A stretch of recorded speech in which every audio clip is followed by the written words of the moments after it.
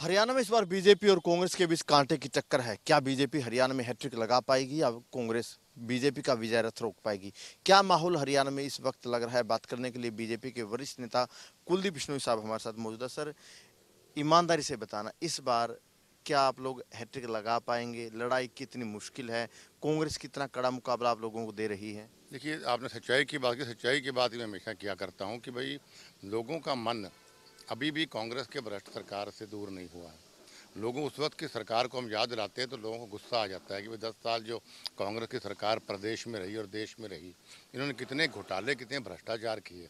और ऐसी सरकार को अब दोबारा लेके आना चाहते हैं, इसमें पैसे दे के काम होते हों, इसमें पैसे दे के रोज़गार मिलते हों, इसमें आए दिन ज़मीन, भू माफिया घोटाले होते हों तो लोगों को समझ आती है बात ये। और भारतीय जनता पार्टी की सरकार जो दस साल की रही, चाहे वो मोदी जी की रही चाहे वो प्रदेश में हमारे अब नायब सैनी जी प्रधान मुख्यमंत्री बने। एक बेहतरीन सरकारें दोनों हमारी चल रही हैं, विकास हो रहे हैं, लोग खुश हैं कि भाई अमन, चैन, शांति कम से कम हमारी थोड़वाई तो है यहाँ। तो मैं दावे से कहता हूँ कि हमारी हैट्रिक होगी और हर हालत में होगी। आप हैट्रिक की बात कर रहे हैं, लेकिन जिस तरीके से टिकट आवंटन हुआ, काफ़ी सीटों पर विरोध देखने को मिला, उसका कितना नुकसान बीजेपी को रहेगा? और ओवरऑल टिकट आवंटन कैसा रहा? देखिए विरोध तो हर पार्टी में हिंदुस्तान में होता ही है। टिकट के जो आदमी टिकटार थी, एक सीट पे बहुत ज़्यादा हों। तो कांग्रेस पार्टी ने झूठे झूठी सच्ची लिस्ट काट दी, हर हल्के में पचहत्तर है कहीं चालीस हैं। भारतीय जनता पार्टी ने मेरिट के आधार पर टिकटें दी हैं, विनेबल कैंडिडेट्स को देखा है। और जहाँ तक विरोध की बात है, चुनाव लड़ने वाला आदमी के वर्कर सारे उसको प्रेशर डालते ही हैं तो चुनाव तो आदमी लड़ता ही और कांग्रेस के अंदर विरोध हो रहा है, सब पार्टी विरोध हो रहे हैं। आप बीजेपी के वरिष्ठ नेता हैं, आपको क्या लगता है कि बीजेपी को किन किन मुद्दों के बीच में लोगों के बीच जाना चाहिए ताकि जो मैंडेट है आप लोगों के पक्ष में आए?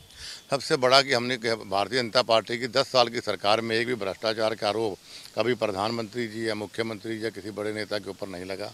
दूसरा, हमने विकास, समान विकास करने का प्रयास किया है। तीसरा, हमने खर्ची पर्ची बगैर रोज़गार दिए हैं। ऐसे ऐसे घरों में नौकरियाँ लोगों को मिल गई जो कभी सोच भी सकते थे कि हमारा हम किसी मंत्री या विधायक के घर पहुँचने की भी हैसियत नहीं थी। तो ये चीज़ें लोगों के बीच में जाकर आगे जिन लोगों को रोज़गार नहीं मिला या खाल नहीं बने या बिल और काम नहीं हुए आगे प्राथमिकता उन्होंने करवाने की रहेगी। नौकरियों का मुद्दा बड़ा मुद्दा रहेगा? बिल्कुल देखो रोज़गार अनएम्प्लॉयमेंट तो इंटरनेशनल इशू है। अमेरिका तक भी अभी तक लोग बेरोज़गार बने हुए लेकिन हमारी हमने फिर भी एक रिकॉर्ड रोज़गार प्रदेश के अंदर दिया है और आने वाले समय में बेरोज़गारी कैसे कम की जाए उसकी हमारी वो प्राथमिकता रहेगी। कांग्रेस को की जो एक अंदरूनी फाइट है उस फाइट का कितना कोई फ़ायदा बीजेपी उठा पाएगी जिस तरीके से कांग्रेस में गुटबाजी है? हालाँकि इस बार गुटबाजी तो बीजेपी में भी दिख रही है। नहीं ऐसा नहीं गुट बीजेपी में कोई गुटबाजी नहीं है। कांग्रेस पार्टी में गुटबाजियाँ तो रही हैं हमेशा। कांग्रेस को तो नुकसान हो ना हो कांग्रेस पार्टी को कोई वोट नहीं देना चाहता। मैं कांग्रेस पार्टी मेरे जैसा आदमी छोड़ सकता है। उसका उसका मतलब ये हो कि कांग्रेस पार्टी में कोई फ्यूचर नहीं। कांग्रेस पार्टी में सिर्फ़ चाटुकारों की पार्टी है। कुछ लोगों ने गांधी परिवार को घेरा हुआ है। उन्हीं लोगों की चलती है उन्हीं की सुनवाई। आम कार्यकर्ता नेता की कोई सुनवाई नहीं। कांग्रेस के अगर टिकट आवंटन की बात करें ज़्यादातर तो हुड्डा साहब की चली है। हुड्डा खेमे की ज़्यादा टिकटें मिली हैं। इसे आप कैसे देखते हैं? नहीं देखिए हमें तो कांग्रेस पार्टी टिकटों के बारे में क्या कमेंट कर सकता हूँ लेकिन इतना ही है कि भाई हमारी टिकटें बहुत बेहतरीन बटी और आज मोस्ट 99 परसेंट तो दूसरी सूची फाइनल सूची हमारी आज आ जाएगी। फाइनल सूची आपकी आ जाएगी सर। लेकिन अगर बात करें, पिछली बार जब सरकार आई, हिसार ज़िले का अहम अहम रोल रहा, इस पूरी की पूरी बेल्ट का। इस बार हिसार में हिसार में कैसा प्रदर्शन रहेगा? अगर जो साथ लगती ज़िले हैं, फतेहाबाद, सिरसा, यहाँ पर कैसा प्रदर्शन रह सकता है बीजेपी का? देखिए, बहुत बढ़िया प्रदेश रहेगा। मेरी प्राथमिकता है, मेरे इतने भी लोग कार्यकर्ता है, पूरे प्रदेश के अंदर, न केवल हिसार, फतेहबाद, पूरे प्रदेश में, सभी के हमने बारी बारी करके बात भी करी, बुला के मिल भी रहा हूँ। अभी देख रहे हैं, सुबह से लोग बैठे मिल रहे हैं। सुबह एक बार बगैर नहीं मिल के भी गया मैं इनको।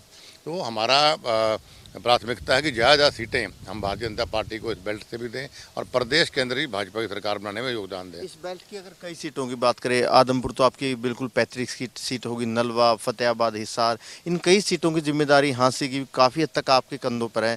कहाँ कहाँ पर प्रचार करेंगे? क्या ये सीट सीटें सेफ़ रहेगी आप लोगों के लिए? बिल्कुल बहुत बढ़िया कैंडिडेट्स हैं और हर हालत में जीतेंगे। ना केवल मैं इन सीटों बल्कि मैंने कहा कि प्रदेश में लगभग तेईस से सत्ताईस सीटों के बीच में मैंने शॉर्ट लिस्ट की है जहाँ मैं जाऊँगा। यहाँ मैं समझता हूँ कि मैं बहुत मज़बूत योगदान भाजपा जनता सरकार बनाने में दे सकता हूँ। वहाँ सब जगह जाऊँगा। तो तेईस से सत्ताईस सीटें किन किन जिलों की है मोटा मोटा देखे तो जहाँ जहाँ पर आप जाएँगे है तो प्रदेश में अलग छाड़ी मेजोरिटी सीट जैसे मैं कह सकता हूँ सिरसा हिसार भिवानी करनाल अम्बाला और फरीदाबाद पार्लियामेंट। इन छः पार्लियामेंट के अंदर मतलब चंक है सीटों का बाकी कहीं एक है कहीं दो इस प्रकार से। तब पूरे प्रदेश में चुनाव प्रचार करेंगे। अगर आदमपुर की बात कर लेते भव्या का चुनाव कैसा चल रहा है? देखिए भव्य का रिकॉर्ड जीत होगी मेरा आज दावा है रिकॉर्डिंग भी आप रखिएगा बाई इलेक्शन से कहीं ज़्यादा मतों से भव्य आदमपुर से जीतेगा। नलवा और फतेहाबाद की बात करें इनकी सीटों की ज़्यादा ज़िम्मेदारी आपके कंधों पे हिसार की भी ज़्यादा ज़िम्मेदारी आपके कंधों पे क्या लगता है ये सीटें आप लोग बचा पाएँगे? बिल्कुल हर हालत में हम फतेहाबाद भी जीतेंगे हम नलवा भी जीतेंगे हम हिसार के अंदर भी जीतेंगे। एक बयान आपको अगर देखें कि जिस तरीके से बड़े दिनों से इंतज़ार करते हैं आपके वर्कर कि बिश्नोई साहब को कुछ बड़ी ज़िम्मेदारी दी जाएगी बड़ी ज़िम्मेदारी दी जाएगी। इस बार भी आप इस तरीके से डायरेक्ट इनडायरेक्ट मैसेज समर्थकों में देते हैं कि बड़ी ज़िम्मेदारी हमें मिलेगी बड़ी ज़िम्मेदारी मिलेगी। क्या ज़िम्मेदारी हो सकती है समर्थकों समर्थकों के लिए क्या कहेंगे? देखिए समर्थक जो बीजेपी ने मान सम्मान दिया क्या उतना मान सम्मान काफ़ी है आपके लिए? नहीं, देखिए, बीजेपी मान सम्मान दे रही, कोई इसमें दोहराई नहीं। कुछ उम्मीदें लोगों को, लोकसभा और राज्यसभा की थी, वो भारतीय जनता पार्टी को कोई कारण रहा होगा नहीं दी।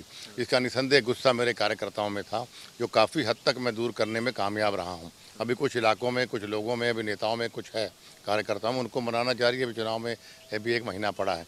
और जहाँ जहाँ तक जिम्मेवारी मेरी क्या उम्मीद है मैं कभी पद के पीछे नहीं रहा। मेरे को ना कभी मेरे सैंतीस साल हो गए राजनीति में मैंने कभी पद की लालसा नहीं की। एक उम्मीद मेरे कार्यकर्ताओं की थी जो उन तक पहुँची होगी। उस उम्मीद पे अगर बीजेपी खड़ी नहीं उतरी उसी बात का गुस्सा था मैं किसी पद के पीछे नहीं हूँ। एक आखिरी सवाल है हैट्रिक लग पाएगी हरियाणा में बीजेपी की? बिल्कुल लगी पड़ी है सामने। देखिए बिश्नोई साहब का यही कहना है कि बीजेपी हरियाणा में हैट्रिक लगाने जा रही है जा रही है। वहीं इस बार चुनाव में कुलदीप बिश्नोई के कंधों पर बड़ी ज़िम्मेदारी रहने वाली है। तकरीबन प्रदेश की दो दर्जन सीटों पर कुलदीप बिश्नोई चुनाव प्रचार करते नज़र आएँगे। कैमरामैन जस्सी के साथ अनिल मोर, खबरें तक हिसार